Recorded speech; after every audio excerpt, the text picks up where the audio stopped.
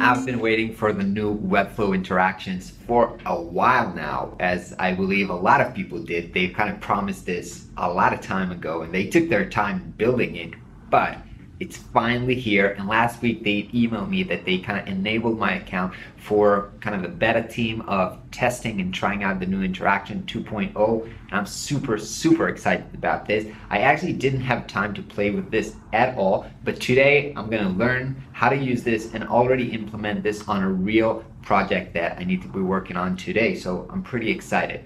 Basically I need to uh, redesign the landing page of Prospero. It's been kind of like I don't know, like three, four months since I've created it. And even though I've kind of changed the hero of it last week, the whole content of it needs to be revamped with all the new learnings that I understood, uh, kind of how to communicate our product better. And I want to use the new interaction from Webflow to make the page really cool, pop up, and engaging. So here's what I'm going to do. I'm going to spend the morning trying to learn what's possible with the new Webflow interaction. I'm going to watch, they've created some uh, demo videos. So I'm going to be watching this to both learn how to use it and see what's even possible. Then I'm going to go to, into Sketch, redesign the page you know, when I have the ideas of how I'm going to use those interactions. And hopefully if I get this done by lunch, I can spend the afternoon actually building the page in Webflow with all the new interactions. Should be feasible. I think it's a bit tight, but I love those one day challenges. So here we go. Mm.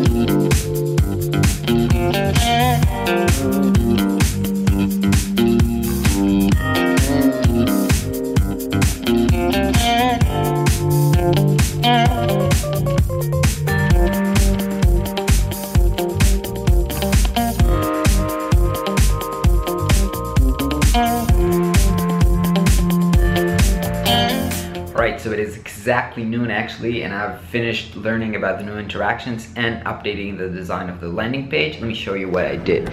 So basically this is the image that uh, I've created last week but I've uh, broken it down into components. It was made in Photoshop originally so that I can make it a uh, nice parallax effect when, when scrolling. Basically I've updated all the content and images based on new benefits that I, I learned that uh, people are interested in doing the interviews I think mostly I will use parallax effects in all different places and in this place I will try to sequence the animation uh, interaction to show how different skills change and it changed the text but uh, I think in all those little places I think parallax will be cool. So so far I'm good uh, on my timing so I'm happy about that. I think I will take a little lunch break right now and perhaps a little walk outside to refresh then head back and start building this in Webflow.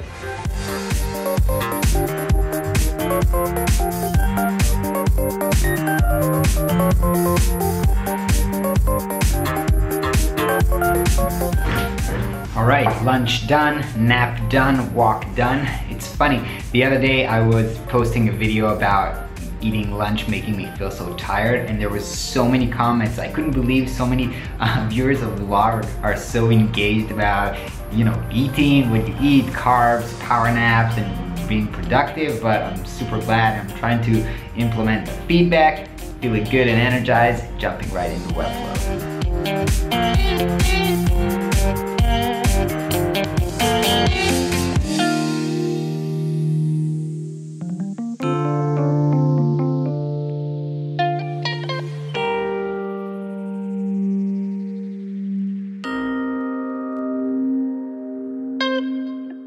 Okay, it has been two hours and a bit, like two hours and a half, and I've completed building the page in Webflow. I gotta say, it was kind of a brain intensive, and I kind of feel tired right now, but I'm super happy with how this came out, and I'm pretty excited that I was uh, able to grasp how to use the new interaction really, really quickly uh, and do complicated stuff without like any complicated tutorials or walkthrough. So let me show you how it came out and how I did it. So basically, this is the page. When it loads, there's a sequence of the icons showing up, and then when I start scrolling, there's kind of this parallax motion of each of the icon is moving in a different speed and the nice thing is that some of them are behind and some of them are in in the front so there are different layers and they're moving in different speeds Uh, when you scroll down, then the, this proposal also scrolls, notice, and it's kind of being revealed from under this uh, line, and it's also moving in a different speed from, from the iPhone here.